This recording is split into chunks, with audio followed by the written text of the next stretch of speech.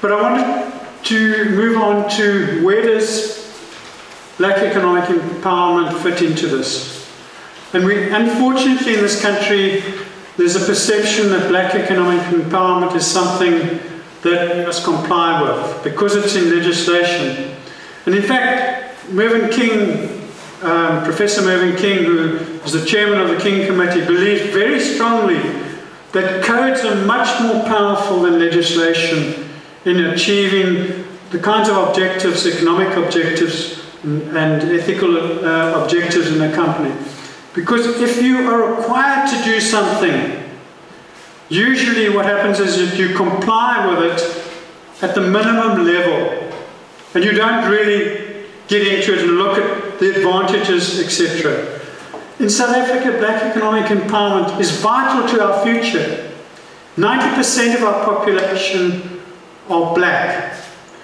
We've got to build the skills, we've got to build ownership, we've got to change society going into the future if we're going to have um, if, if, we're going to be um, around in the future and achieve the economic objectives that we have.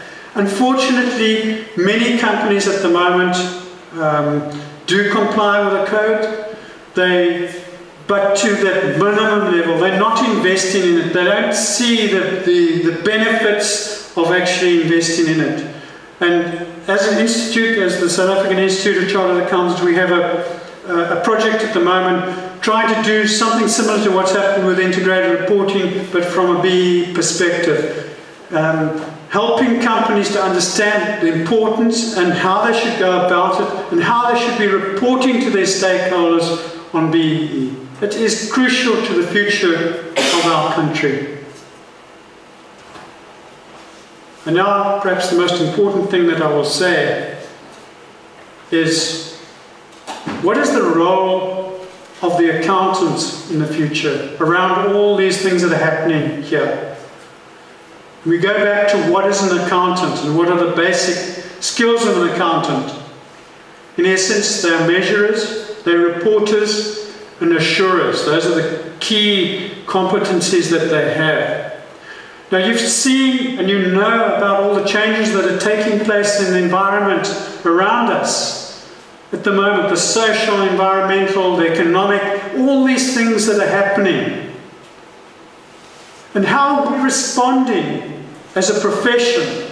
Are we dealing with measurement? Are we coming up with relevant measures? Are we coming up with the right way of reporting? Are we addressing the assurance problems that face the world? Because investors and other stakeholders are looking for guidance because we're the experts. And if we're not addressing them, do we have a future going into the going forward. And those are challenges that you guys, if you go into accounting field, they're enormous challenges, but they're exciting challenges because we're going to see dramatic changes, I believe, in the future and how accounting and reporting will develop. Integrated reporting is in its infancy. It's just started. It's already made a big impact around the world. We have, I'm part of the international body, um, where we've got 90 companies from around the world. And just now I'll show you some of those, those companies, some of the biggest companies in the world, all part of a pilot program looking at how they can improve integrated reporting because they believe it's the future. But as a profession, as the accounting profession, we've got to invest in this. We need to do our R&D. We need to address these. And that's why accounting today is going to be an extremely interesting career going forward from here because the challenges to address these, these issues and be more relevant uh, to society is something that will drive a lot of change. And then, very important in this whole equation is the role of the investor. Because we can talk as much as we like, but if the investors are not using the information, and they are the key people because they've put the money into the companies. If they're not using the information, they don't want it, then we're wasting our time. But there is a, strong movement now amongst investors to uh, adopt sustainability principles. This is from the UNPRI, which is the United Nations Principles for, for Responsible Investment, um, which is, um, as I say, United Nations organization developing principles for, for investors going forward. And you can see what they've put into that, that code. I won't run through it in the detail, but there, there are the principles. And you can see that sustainable development is a major factor in the way that investors will be looking at investments into the future. Within South Africa, we have CRISA, which has taken those principles and advanced them still further. And they talk in their code about the need for integrated reporting. But there's a strong recognition amongst major investors today that there's a responsibility uh, that they have because they manage funds on behalf of you and I. And that's the problem that many investors are suddenly realizing and asset managers are realizing that they have a strong responsibility to the general uh, population because most investments today or a large proportion of investments are funds that have been invested on our behalf. Now you might not have pension funds at the moment but as soon as you begin work you're going to be putting money into pension funds or investing. And investment managers are concerned about the responsibilities that they have and that they can be challenged going into the future um, if they are not responsible in the way that they deal with investment. So if they're putting money into organizations that are sustainable, they're going to be answerable to that.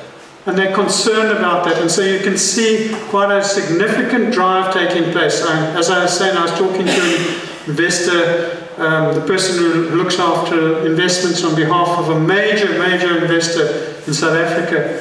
Uh, and, and he was talking about how important this code is to them and how they implement it because they are concerned about the way um, that, that uh, they are viewed and how how they're implementing codes of this nature.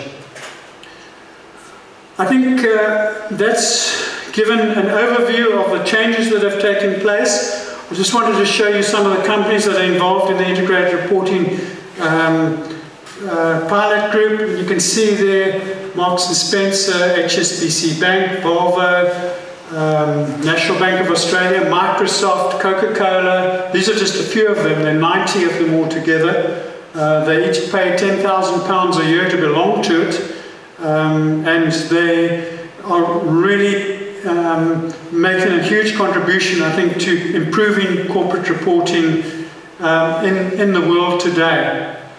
So thank you very much for, for listening to me. Hopefully um, this has given you a bit of a background as to what is happening in business. I think it's a really exciting development that's taking place in business today. And you can see how companies have moved from, from that early stage um, of, of making handouts to actually including and embedding sustainability, sustainable development, and related issues in their strategy. So much so that in most organizations today, it has become the driving force behind where they're going into the future. Thank you.